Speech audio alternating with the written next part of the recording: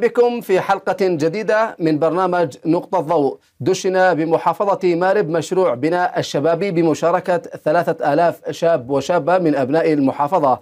هذا البرنامج الذي يهدف إلى تعزيز قدرات ومهارات الشباب في جوانب مختلفة. فما هي المجالات التي سيشملها هذا المشروع؟ وهل تمت دراسة هذه البرامج؟ هل كانت وفقا لاحتياجات سوق العمل؟ ما المهارات والمعارف التي سيكتسبها الشباب من خلال هذا البرنامج وما الأثر المتوقع لهذه المخرجات في سوق العمل؟ وناقش هذه التساؤلات وغيرها في حلقة هذا الأسبوع من برنامج نقطة ضوء. فأهلا ومرحبا بكم.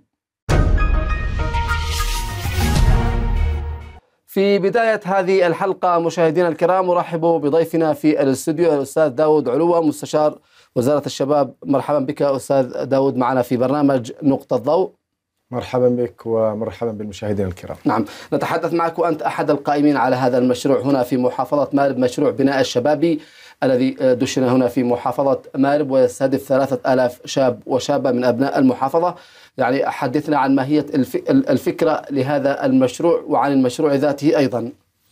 آه بسم الله الرحمن الرحيم. الحقيقة أن هذا المشروع آه يعني يعد له من فترة طويلة ربما من الأشهر الأولى للعام 2023 آه لأن المشروع كبير ويحتاج إلى جهد.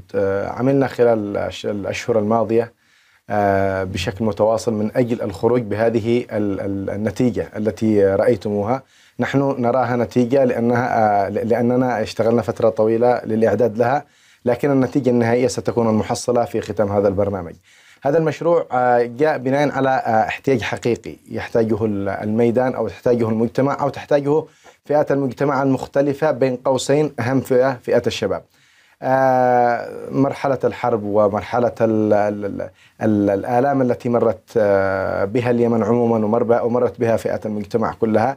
كان هناك مجموعة من النتائج. من ضمن النتائج أنه هناك مجموعة من ال ال ال الشباب أصبح لا يعرف ما الذي يمكن أن يقدمه أو لا يمكن أن لا يمتلك مجموعة من المهارات التي تقدم لسوق العمل من أجل أن يكون موجود ربما من أجل الحفاظ على لقمة العيش أو ربما ليكون مشارك مشاركة بناءه في خدمة البناء المجتمعي أو حتى أيضا في عملية التنمية التي تحتاجها البلد. نحن من خلال هذا المشروع مشروع بناء الشبابي بنسخته الأولى نحاول أن نرفد المجتمع وأن نرفد وأن نرفد البلد بمجموعة من المتخصصين في مجالات عديدة يمكن لهم أن يشاركوا المشاركة الإيجابية التي تصنع تحول فارق في عملية البناء سواء كانت الشخصي للشخص ذاته أو المجتمعي أو حتى في عملية البناء التي نتطلع إليها من أجل البلد ومن أجل اليمن الجديد الذي ننشده. نعم. يعني الفئات المشاركة فئات مستهدفة خريجو ثانوية خريجو جامعات من هم؟ الفئات المستهدفة كل الفئات لكن من من الثانوية فما فوق. حتى الجامعيين حتى أيضا أصحاب المهارات والحرف حتى لدينا حاولنا ان نجمع لكن في الأخير من يمتلك شهادة ثانوية يستطيع أن يلتحق بمثل هذه البرامج. نعم، طيب نتحدث عن الجهات التي من خلالها سيتم تنفيذ هذا المشروع، نتحدث عن معاهد، مراكز. نعم. هناك أربع جهات يتم تنفيذ البرنامج من قبلها. في جامعة العلوم والتكنولوجيا مركز التدريب. مركز الاستشارة والتنمية عفوا. وأيضا أكاديمية برودكتس المعنية التي تعني بال... بال... بالاتصالات والتكنولوجيا. وأيضا أكاديمية ديفرنت للتدريب والتنمية. وأيضا أكاديمية رائدون للتدريب والتنمية والاستشارة عفوا. هذه الأربع الجهات تعتبر من أهم الجهات المتواجدة هنا في مارب إضافة إلى جهات أخرى. لكننا آه تعاملنا مع هذه الجهات أو رتبنا عبر هذه الجهات آه هذا المشروع وإن شاء الله خلال الأيام القادمة سنرتب مع جهات أخرى آه وال, وال يعني المعيار في هذا نجاحنا إن شاء الله في هذا المشروع والمؤشرات تقول أن النجاح سيكون إن شاء الله حليفنا. نعم، طيب أيضا نتحدث عن الجهات الداعمة، جهات حكومية وزارة الشباب والرياضة، ام نتحدث عن جهات منظمات مجتمع مدني؟ المشروع هو بإشراف مباشر من قبل من من عضو مجلس القيادة الرئاسي الشيخ سلطان بن علي العرادة وأيضا إشراف ورعاية من من من معالي وزير الشباب والرياضة إشراف مباشر من معالي وزير الشباب والرياضة. هناك جهة وسيطة الهيئة العالمية للإغاثة والتنمية هي الجهة التي ستدير هذا المشروع. عملنا من خلال هذه الجهات أن أن أن يكون أن تكون المخرجات أو أن تكون إدارة هذا البرنامج ذات طابع محوكم. نستطيع ان ان نخرج إن شاء الله بمخرجات إيجابية. نستطيع أن ان نشكل يعني مساحة من التقييم والتقويم للبرنامج خلال هذا العام لأن البرنامج طويل. ومن خلال هذه الجهات سيتم أيضا الترتيب لمسار هذا البرنامج خلال العام 2024 نعم البرنامج يضم برامج عدة فيما يتعلق بالدراسات المختلفة في تخصصات مختلفة. ما هي هذه المجالات؟ عموما يعني بعد الدراسة الميدانية خلصنا إلى أربع مسارات لابد أن نعمل نعمل بها. المسار الأول المسار الإداري، والمسار الثاني المسار المالي، والمسار الثالث المسار التقني، والمسار الرابع المالي والإداري والتقني عفوا والمهاراتي، أربع مسارات. هذه الأربع مسارات موجودة في 13 دبلوم. 13 دبلوم في المجال التقني ثلاثة دبلومات في المجال المهاراتي دبلومين في المجال الإداري أربعة دبلومات في المجال المالي ثلاثة دبلومات. نحاول من خلال هذه المجالات أن نصنع مجموعة من الدبلومات التخصصية كل واحد بيعمل أو بيدخل التخصص الذي يرغب به أو يستطيع أن يقدم فيه. اليوم ربما نحن اليوم نحن أطلقنا ودشنا المشروع في مثل هذا اليوم وفي مثل هذه اللحظات. آه اليوم المقدمين على هذا الدبلوم تعدوا 950 مستهدف. بمعنى أنه الآن وصلنا إلى ثلث العدد أو الرقم الذي نتطلع إلى أن نصل إليه.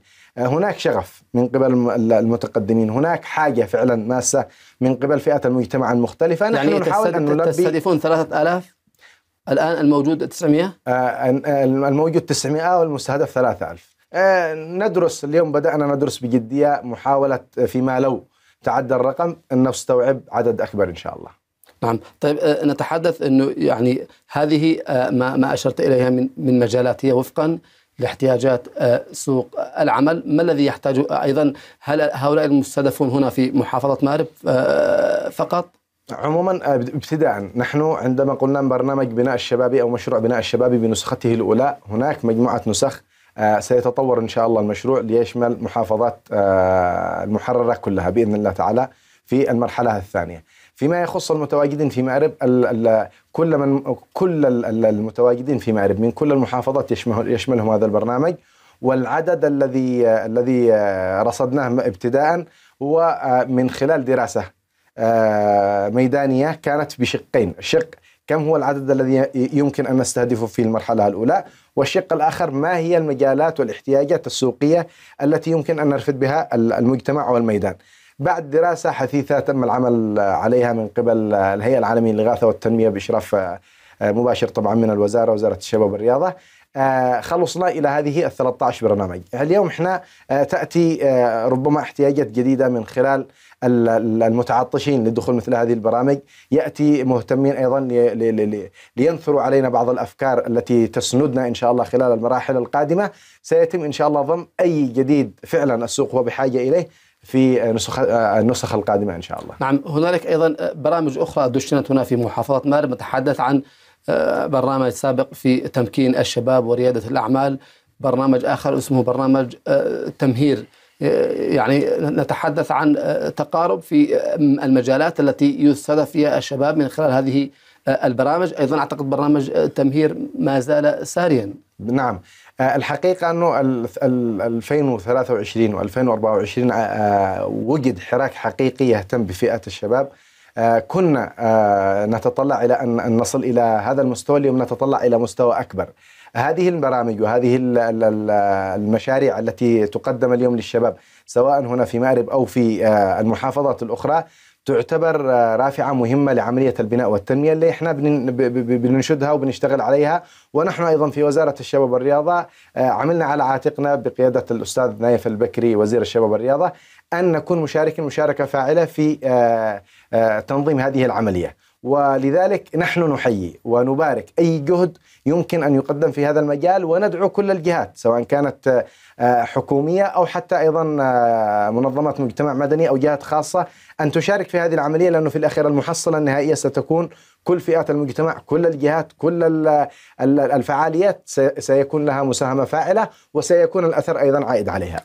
نتحدث عن آه، المعارف والمهارات التي سيكتسبها الشباب من خلال هذا البرنامج والذي كما أشرت أنه في نسخته الأولى. نعم. آه، هناك 13 عنوان. آه، بمعنى 13 دبلوم. نتكلم عن عن دبلوم العلوم السياسية والعلاقات الدولية، نتكلم عن الإدارة الدبلوم الإدارة الاستراتيجية، نتكلم عن دبلوم المهارات القيادية، نتكلم عن دبلوم الموارد البشرية، نتحدث أيضا عن دبلوم المصارف والتمويل نتحدث أيضا عن دبلوم الشبكات وأمن المعلومات آه، دبلوم أيضا إدارة الشبكات ودبلوم أيضا إدارة صفحات الويب آه، نتحدث أيضا عن عن الدبلومات دبلوم الإعلام الشامل ودبلوم آه، يعني لدينا 13 13 دبلوم ربما الآن سردت ما يقرب من تسعة دبلومات لكن 13 دبلوم تم إنزالها للميدان والحمد لله كل الدبلومات ربما آه، فيها إقبال كبير. فيها أيضا دبلوم إدارة الأعمال الوظيفية. هذه الدبلومات كلها موجودة. موجودة في آه، في الإعلانات التي تم إنزالها بشكل واسع وتمت الاستجابة كما أسلفت آه، بشكل غير متوقع. بمعنى أن الميدان فعلا يحتاج إلى مثل هذه البرامج والمعارف. وسنعمل إن شاء الله كما قلنا في النسخ القادمة على توسيع الدائرة. وعلى توسيع أيضا الدائرة الجغرافية ليستفيد آه، شباب اليمن وكل الفئات من أبناء اليمن في المحافظات المحررة بها نعم أشرت قبل قليل إلى أنه الآن المتقدمين 900 والمطلوب 3000 يعني من أراد أن يتقدم كيف السبيل لذلك؟ آه نحن آه جعلنا العملية سهلة. آه لدينا اليوم أربع جهات. كل جهة معروف ما هي العناوين التي ستقدمها أو البرامج التي ستقدمها. سيذهب المستهدف إلى هذه الجهة. آه، يطلب منهم التسجيل في مشروع بناء الشبابي في التخصص الفلاني. آه، سيتم استلا... سيعطيها المندوب آه، استمارة. يتم تعبئة الاستمارة. ويتم الترتيب بهذه البساطة مع الجهات يعني هذه دعوة الآن من خلال هذا البرنامج لمن أراد نعم. الالتحاق بهذا البرنامج على اتباع هذه الخطوات التي أشرت إليها بالضبط. قبل قليل بالضبط. نعم طيب نتحدث عن الأثر المتوقع لهذه المخرجات كيف لها أن تساهم في التنمية في المحافظة التي تشهد طفرة تنموية لافتة في مجالات عدة كيف لها أن ترفض سوق العمل بهذه التخصصات سواء القطاع الحكومي أو القطاع الخاص؟ آه، من خلال 13 عنوان آه، يمكن أن آه، يكون لدينا استطلاع ذهني ما الذي يمكن أن ترفضه سواء زي ما قلت أنت للقطاع الحكومي أو القطاع الخاص. هناك احتياج وهناك أيضا يعني طلب في السوق بحاجة إلى إلى أشخاص أصحاب مهارات، أصحاب معارف، أصحاب آه، خبرة نظرية يمكن أن ان أن يستفيد منها آه، آه، أصحاب الشركات أو رؤوس المال والأعمال أو الجهات الحكومية أو الجهات الخاصة ليكون أثرها في الميدان، أنا أعتقد أن العدد 3000 لوحده يمكن أن يشكل ثورة. ثورة حقيقية ميدانية تعمل على عملية قلبة تنموية في محافظة مرب أو حتى بقية محافظات الجمهورية، لأن العدد عدد كبير ويمكن أن يستفاد من كمية كبيرة من من الخريجين في هذه ال 3000 دبلوم في مجالات العمل المختلفة وفي القطاعات المختلفة. اليوم آه، بدأت محافظة مأرب آه، على سبيل المثال تنشط في القطاعات التنموية بشكل لافت. القطاعات التنموية بحاجة إلى من يرفدها بأصحاب مهارات متنوعة يمكن أن يضيفوا آه، شيء حقيقي في عملية في العملية الحركة اللي بتشتغل بيشتغل بتشتغل عليها السلطة المحلية مشكورة. اليوم إحنا نسعى من خلال هذا البرنامج أن نخرج ثلاثة ألف متخصص في 13 آه، تخصص من أجل أن يرفدوا عملية التنمية في مأرب وفي محافظات الجمهورية. نعم أيضا هنالك وزارة معنية بمثل هذه آه، الأمور وزارة التعليم الفني والتدريب آه، المهني ما طبيعة التنسيق بين الوزارتين وزارة الشباب والرياضة السلطة المحلية هنا في محافظة مأرب وزارة التعليم الفني والتدريب المهني نتحدث أيضا عن البنية التحتية للمعاهد المتعلقة بهذه المجالات. كيف هي هنا في محافظات مأرب؟ ما الذي تم إنجازه سواء كانت مباني تابعة لوزارة الشباب أو وزارة التعليم الفني والتدريب المهني. ما الذي تحتاجه أيضا المحافظة في هذا في هذه المجالات؟ ابتداء ما يخص ما يخص التنسيق. هناك عملية تنسيقية حاضرة. عموما البرنامج يشرف عليه نائب رئيس مجلس القيادة الشيخ سلطان العرادة وهو على اطلاع مباشر بمعنى أن السلطة المحليه حاضرة في في هذا الموضوع، إضافة إلى ذلك الجهات التي تنفذ هذا البرنامج هي جهات مصرح لها من مكتب التعليم الفني ووزاره التعليم الفني. وهذا أيضا يعني طبيعة التنسيق والشراكة فيما بين الجهات هي علاقة تكاملية. والإخوة مشكورين في السلطه المحليه ومكتب التعليم الفني مشكورين يبذلوا جهد كبير جدا من أجل تذليل الصعوبات. ليس فقط لهذا المشروع إنما للمشاريع الأخرى وحتى أيضا للجهات التي تعمل في الميدان، نحن اليوم نتحدث عن جهات خاصة عملنا على تنفيذ هذا البرنامج معها، لكن أيضا فيما يخص أيضا المعاهد والجهات المرتبطة بالحكومة، هناك جهات أيضا بتقدم بتقدم جهد بالمتاح. لكن أيضا لا زال لا زال الإخوة في السلطة المحلية أو في مكتب التعليم يعانوا من بعض الإشكالات في بخصوص بعض المباني التي لا زالت إلى اليوم موجودة بحوزة النازحين والوضع إنساني، لكن هم يبذلوا جهد كبير جدا، جهود مشكورة، نتمنى إن شاء الله خلال الأيام القادمة أن يتم عمل حلول حقيقية وجذرية لل للإخوة النازحين والمهجرين حتى يستطيعوا الإخوة في مكتب التعليم الفني أو حتى في المكاتب الحكومية الأخرى من حتى يستطيعوا على على ترتيب وإعادة تهيئة هذه الأماكن ويتم استهداف أكبر قدر ممكن عبر هذه الجهات. أما نحن في وزارة الشباب والرياضة اليوم لدينا مركز في ملعب مأرب الرياضي. لدينا اليوم متاحات أخرى يتم العمل عليها. الملعب الرياضي شكل أيضا رافعة حقيقية. اليوم الصالة المغلقة بدأت يعني تستعيد تستعيد حيويتها ونشاطها خلال الفترة الماضية وخلال الفترة المقبلة إن شاء الله. الحديث أيضا عن هذه عن عن ما الذي تقدمه المراكز ليس فقط في مأرب أيضا في محافظه الجمهورية. نحن في وزارة الشباب والرياضة هناك عمل دؤوب من أجل إعادة تهيئة هذه المراكز سواء كانت تخص الجانب الرياضي أو أو الشبابي. وربما السنتين الماضية كان كان هناك حضور لافت في إعادة التهيئة وإعادة الترميم لبعض المنشآت التي تحصل لها مجموعة من الإشكالات بسبب الحرب. والحمد لله في هناك إنجازات كبيرة ويسعى الأخ وزير الشباب والرياضة الأستاذ نايف البكري إلى أن يكون العام 2024 عام حافل. سواء في محافظة مارب أو في محافظة الجمهورية المختلفة وفق الرؤية المعدة سلفا.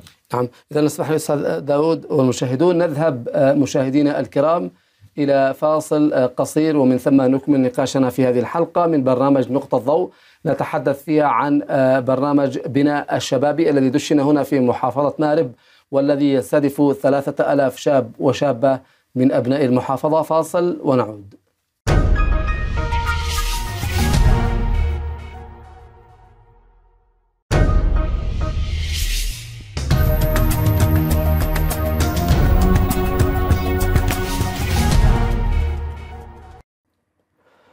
أهلا بكم مشاهدينا الكرام من جديد ما زلنا معكم في برنامج نقطة ضوء نتحدث في هذه الحلقة عن برنامج بناء الشبابي الذي دشن هنا في محافظة مارب والذي يستهدف ثلاثة ألاف شاب وشابة. أرحب من جديد بضيفنا في الاستوديو الأستاذ داود علوة مستشار وزارة الشباب والرياضة وأحد القائمين على هذا المشروع. مرحبا بك من جديد. نتحدث أيضا عن علاقة مثل هكذا برامج تأهيلية وتدريبية بالتنمية المستدامة. آه لا يمكن أن تحد أن أن أن يكون هناك تنمية ما لم يكن هناك بناء للفرد. إحنا اليوم بنعمل هو الإنسان محور التنمية. بالضبط. الإنسان هو محور التنمية.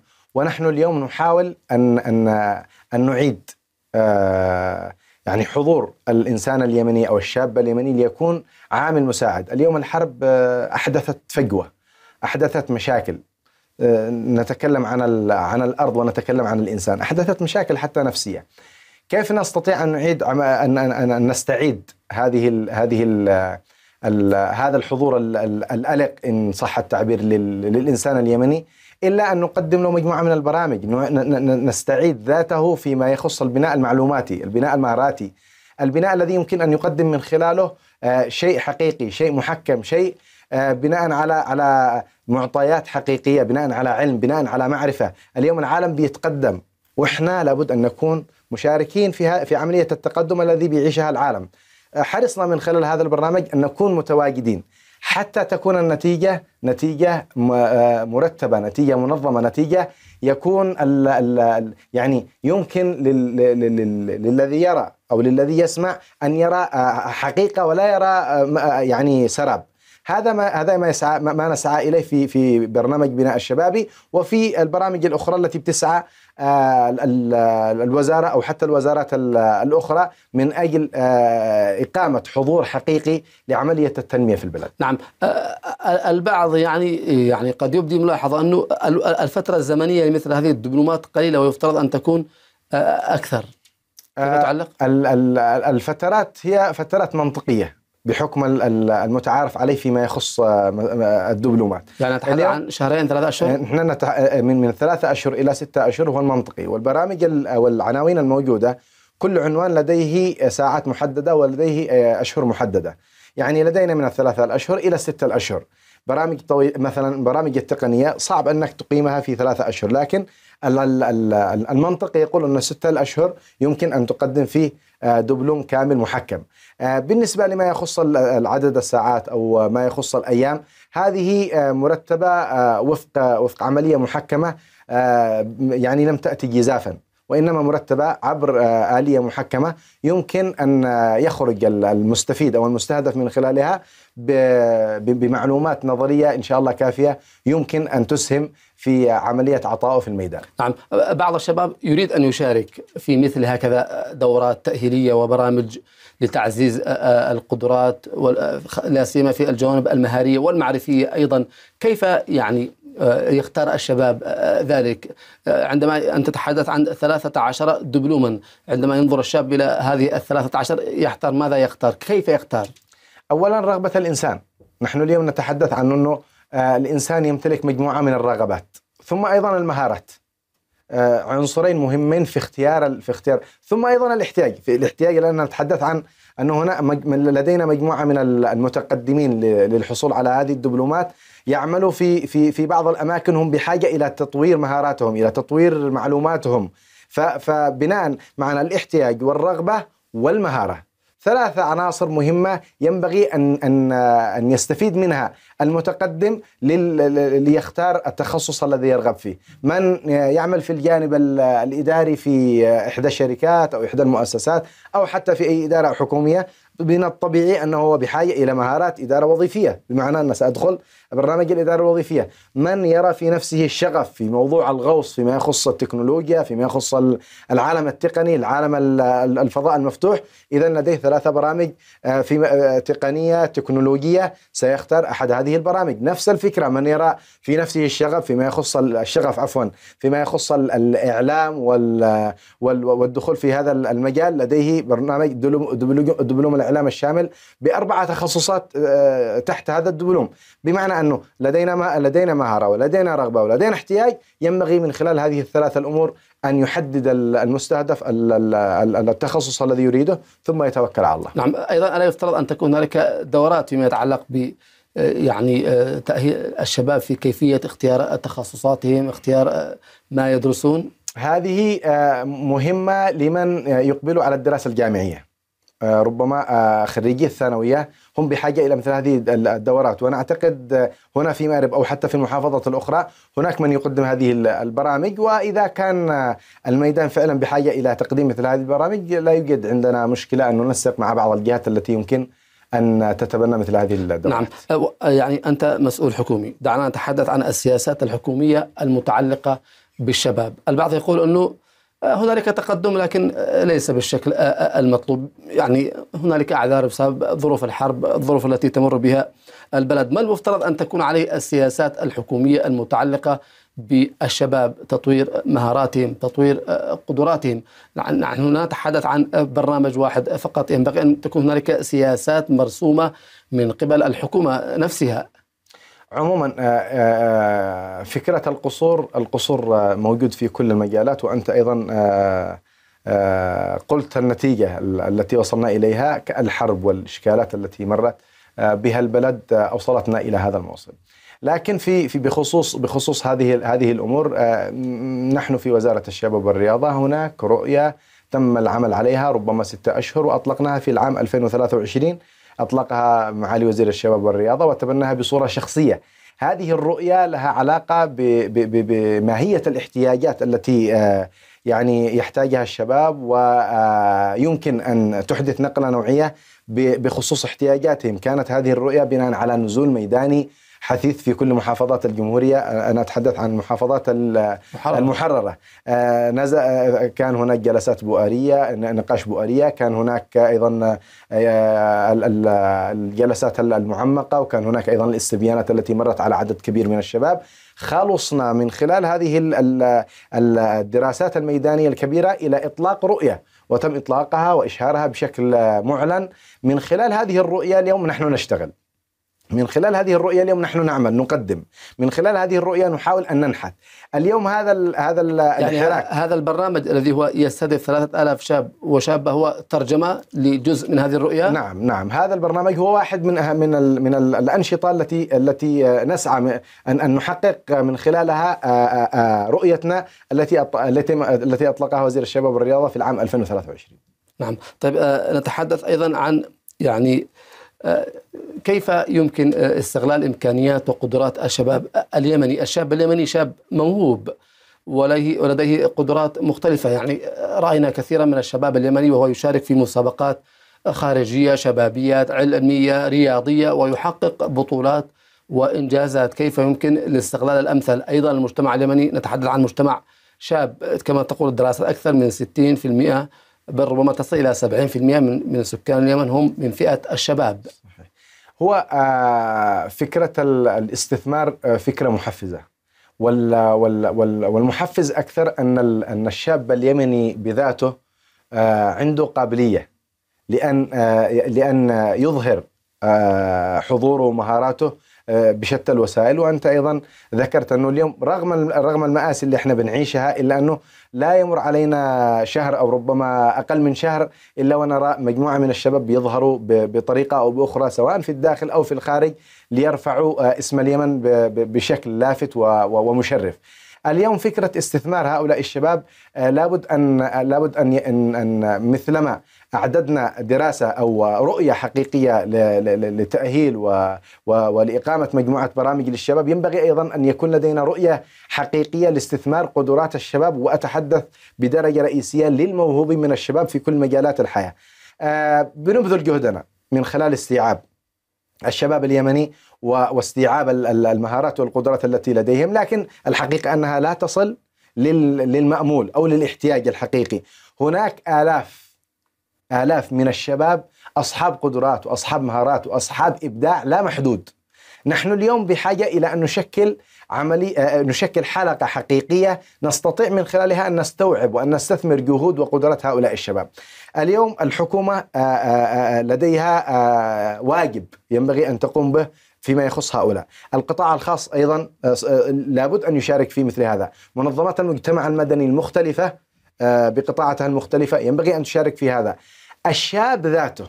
آه، لأن أنا دائما آه، عندي مشكلة آه، البعض يقول ليش دائما تشرك الشاب؟ المفترض انه الجهات هذه هي اللي بتد... الشاب ما له علاقة. لا الشباب هو الدينامو المحرك من أجل هؤلاء. إذا لم إذا إذا لم يتواجد الشباب لي... ليطالبوا بحقوقهم أو ليبحثوا عن حقهم أو لي لي لي لي ليظهروا آه، مهاراتهم. لا يمكن أن تتحرك هذه الجهات ما فيها الجهات الحكومية مع أنها معنية ويعني عناية مباشرة بهذا بهذا الملف، اذا إحنا بحاجة إلى أن الأربع الجهات هذه تقوم بواجباتها. ومن وجهة نظري أن الجهة الرابعة وهي الشباب أنفسهم هي الجهة الأولى المحركة لكل شيء، الشباب إذا آه، يعني قرر أن يقوم بشيء يقوم على أكمل وجه. إذا قرر أن يحصل على شيء لا يمكن أن يعود خالي الوفاض. وبالتالي نحن اليوم نراهن على الشباب من أجل أن يتحصلوا على حقوقهم كما أيضا نراهن على أن الثورة الجديدة التي حدثت من قبل آه، مكونات المختلفة سواء كانت الحكومية أو المجتمعية يمكن أن تسهم مساهمة فاعلة وأن تشارك مشاركة فاعلة في عملية استثمار هؤلاء نعم. آه، آه، نتحدث أيضا حول أنه البعض يقول لماذا لا تكون هنالك بوتقة من من خلالها يعني يجمع كل المبدعين من الشباب اليمني ويعني من حيث ننطلق من خلال هذه البوتقه وهذه المؤسسة التي تجمع المبدعين لا سيما في المجالات الشبابية المختلفة.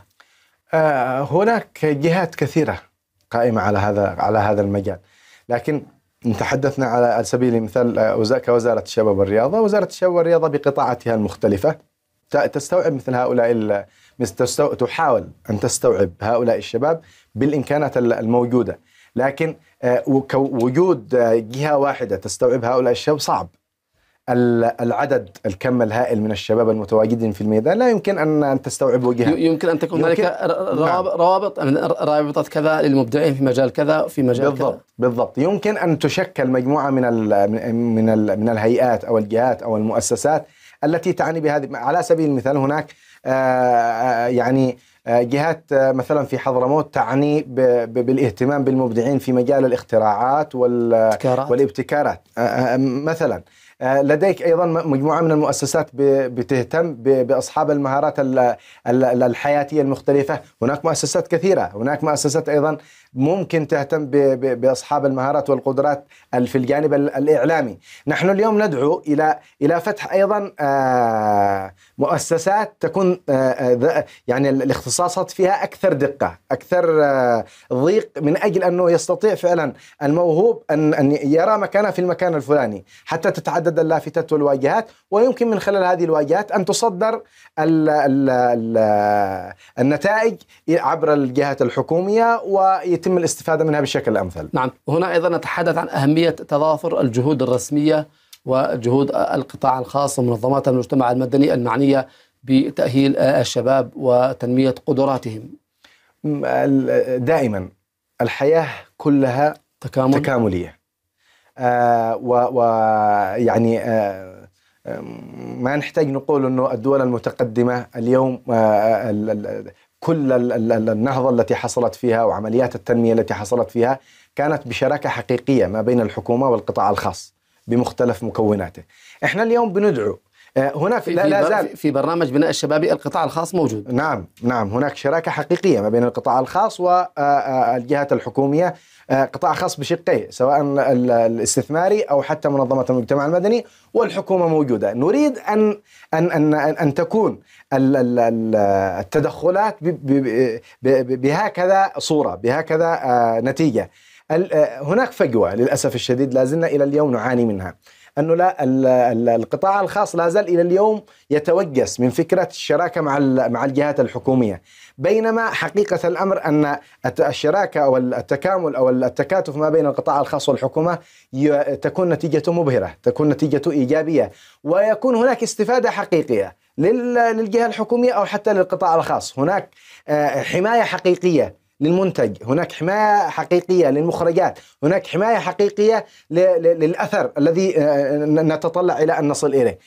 صدقني إذا وجدت مجموعة من المشاريع الحقيقية المستدامة التي يشارك فيها الجميع كل قطاعات المجتمعية مع الحكومة تكون نتائجها مشرفة. وربما هناك كثير من الدلائل والشواهد السابقة. واليوم إحنا اليوم أمام مجموعة من المشاريع التي نعمل عليها.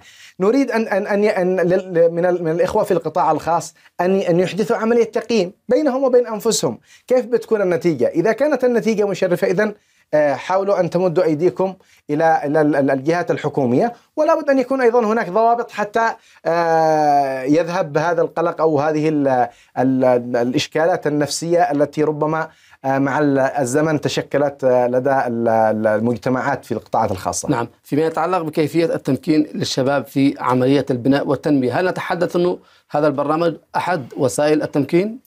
آه هو آه بمجمله آه وسيلة مهمة من وسائل التمكين. ما يهدف إليه التمكين؟ بالضبط. نعم.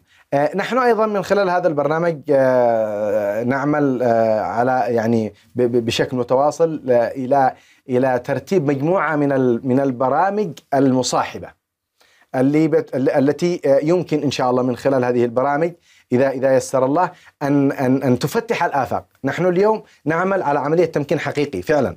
لكن ربما آه، لدى البعض من من ال الإخوة المستهدفين في هذا البرنامج تخوف في أنه يمكن أن يخرج إلى الميدان ويتحصل على على فرصة معينة، إحنا اليوم بنحاول إن شاء الله من خلال الدراسة اللي بنعد لها آه، تعد لها ال- ال- الهيئة العالمية مع الجهات الشريكة في إشراك جهات أخرى يمكن من خلال هذه الجهات أن يكون أن يكون أن يكون هناك مجموعة من البرامج المصاحبة نفتح فيها الآفاق للإخوة المستهدفين في هذا البرنامج بحيث يخرجوا إلى الميدان والأمور واضحة لديهم. يعني ونحاول أن برامج مصاحبة لهذه الدبلومات بإذن. الثلاثة عشر؟ نعم بإذن الله تعالى. سنعمل على آه، إنتاج هذه البرامج بالشراكة مع العديد من منظمات المجتمع المدني والمؤسسات ال- ال- المهمة. آه، فقط نستكمل دراسة ال- ال- الفكرة. ثم إن شاء الله سننزل للميدان من أجل التشبيك آه، لتنفيذ هذه البرامج.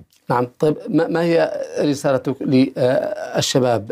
فيما يتعلق بكيفية تنمية مهاراتهم قدراتهم الاستفادة من مثل هكذا برامج ودورات تأهيلية وتدريبية تعنى بالشباب وتأهيلهم. آه، إحنا 70% من تعداد السكان اليمني. 70% من من التعداد هم شباب. بمعنى أن المستقبل مستقبلكم. وبالتالي حتى وإن أثرت علينا هذه ال- الإرهاصات وال- والحرب والإشكالات وال- والتجاذبات السياسية لا يمكن أن أن أن نسمح لها أن تؤثر على نفسياتنا في بناء بلدنا. والمعول آه، بدرجة رئيسية عليهم في بناء هذا البلد هم الشباب. والمستقبل دائما شباب. لا يمكن أن آه، نحدث أي عملية تنموية إلا بكم أنتم أيها الشباب. وإحنا عاد إحنا محسوبين آه، على الشباب. ينبغي أن تكون أن تكون يعني عزيمتنا متوقدة. ينبغي ألا تموت إرادتنا. ينبغي ألا نسمح لأحد أن يهز ثقتنا بأنفسنا. اليوم هناك هذه أنا أعتبرها أفكار ملهمة. هي هي لا, لا, لا يمكن أن تلبي الاحتياج الكبير لقطاع الشباب الواسع لا. لكن هي أفكار ملهمة. نحن من خلال هذه الأفكار ومن خلال هذه المشاريع الملهمة نحاول أن نفتح آفاق للجميع للمؤسسات ومنظمات المجتمع المدني للقطاع الخاص أيضا لل- لل- للوزارات الحكومة المختلفة التي يمكن أن تقدم أيضا مجموعة من من البرامج ال- ال- التي يستفيد منها آه، قطاع الشباب. للشباب أنفسهم لعمل مبادرات فرق آه، لينشئوا مجموعة من الابتكارات مجموعة من ال- البرامج والمبادرات المجتمعية التي يمكن أن تقدم شيء آه، لهذا البلد. اليوم البلد بحاجة إلى آه، أن نكون آه، متواجدين أن نكون ثابتين أن نكون حاضرين. اليوم البلد بحاجة إلى أن تتحرك العجلة ولا يحركها إلا أنتم أيها الشباب. شكرا جزيلا. في نهاية هذه الحلقة الأستاذ داود علوة مستشار آه، وزارة الشباب والرياضة وأحد القائمين على برنامج بناء الشباب هنا في محافظة مارب الذي يستهدف ثلاثة آلاف شاب وشابة. شكرا لكم مشاهدينا الكرام. انتهت هذه الحلقة من برنامج نقطة ضوء نلتقيكم بإذن الله تعالى في حلقة الأسبوع القادم. السلام عليكم ورحمة الله وبركاته.